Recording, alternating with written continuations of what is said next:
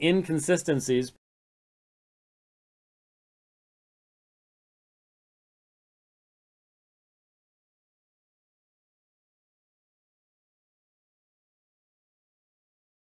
Um, everyone knows that I have a different debating style. Um, that I do not have a background. You know, Sam was born in the Middle East, and he's a little bit on the uh, you know uh, fiery side, and he and I have had conversations about that very issue, and uh, so he hears things differently than I do.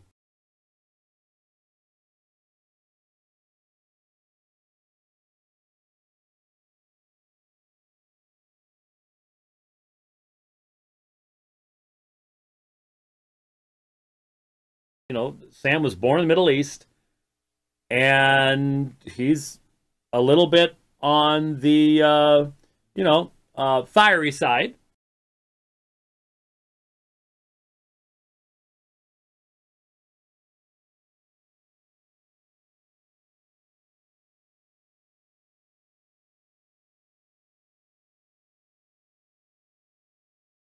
Jesus was from the Middle East. That makes him Middle Eastern. Tried having this conversation with a gentleman in Fort Wayne, Indiana. Didn't go smooth. No, I said, you know, Jesus was Middle Eastern. What? No, he was Middle Eastern. He was what? How is he white if he's from the Middle East? There are a lot of white people in the Middle East. White people with blonde hair and blue eyes. I'm like, yeah, soldiers and Anderson Cooper.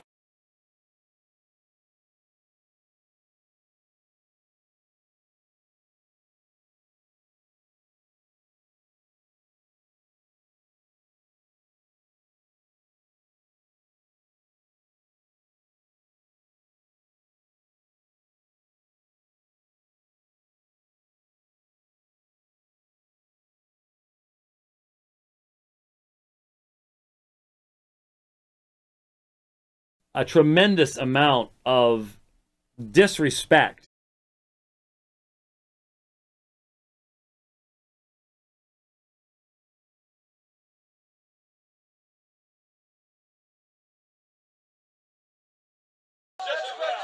I could understand that being up on the ladder was no ordinary form of evangelism, but I was still uncomfortable with the tribalistic shouting that seemed to be so prevalent as the debate went on and I've been told that this was a relatively tame crowd by normal standards.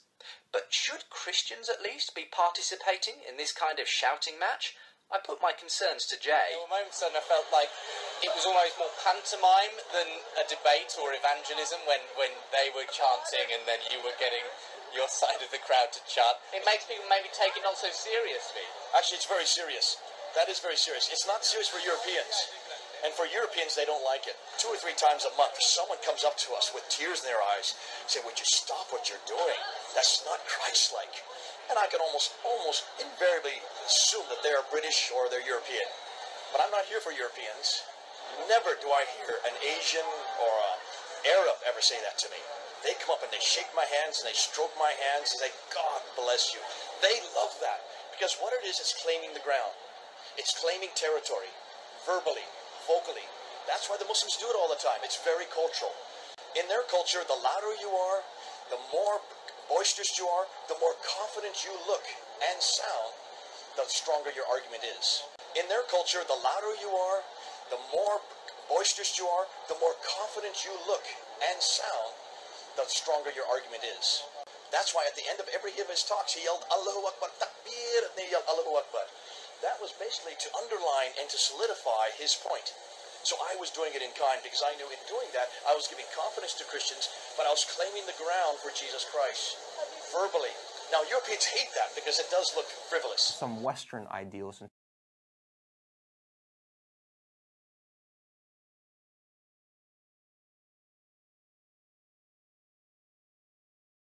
example.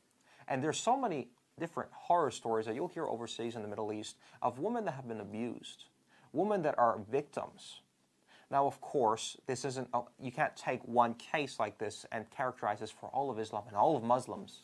In truth, I've met very nice Muslims and Muslims that have exactly taken uh, some Western ideals in terms of equality, in terms of how you ought to treat a woman and so forth.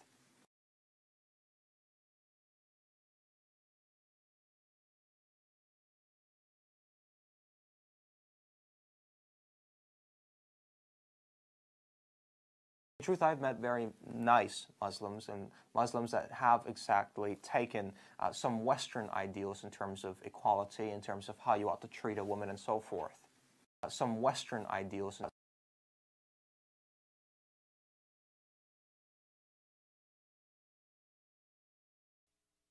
Unfortunately, this seems to have also a cultural element to it that I do not understand. Uh, Walid Shoebat is Middle Eastern. And many people with a Middle Eastern mindset confuse the loudness of the rhetoric and the temperature of the language used with demonstration of truth. So if you yell loud and you insult your opponent appropriately, you win.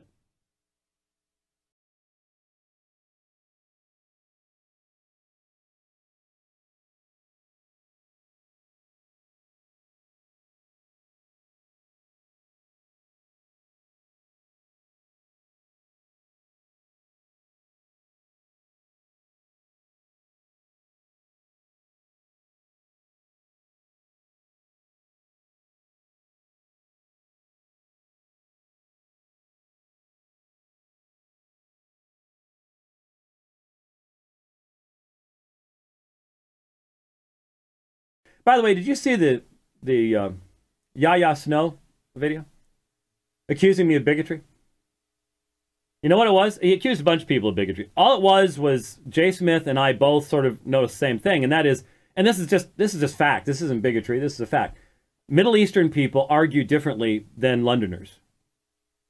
Um, for Middle Eastern people, the the volume of your voice is directly relevant to the confidence you have in expressing it.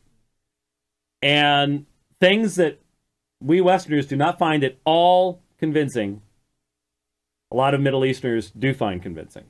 Uh, and not because it's logical, but because it is part of the argumentation. And that's not bigotry. That's that's a, that's observation of absolute fact. No one no one who's ever I mean everyone has seen it. It's it's obvious. Yahya Snow. I, I believe Yahya's purpose in life is to just simply muddy the waters and try to keep any meaningful conversation from happening between serious Christians and serious Muslims. I really do. Um, they watch this program. Hi, Yahya, how you doing? I don't know why you do what you're doing, but I really do not have any respect for what you do. Um, really find it. If you want bigotry, I think that anyway. Um,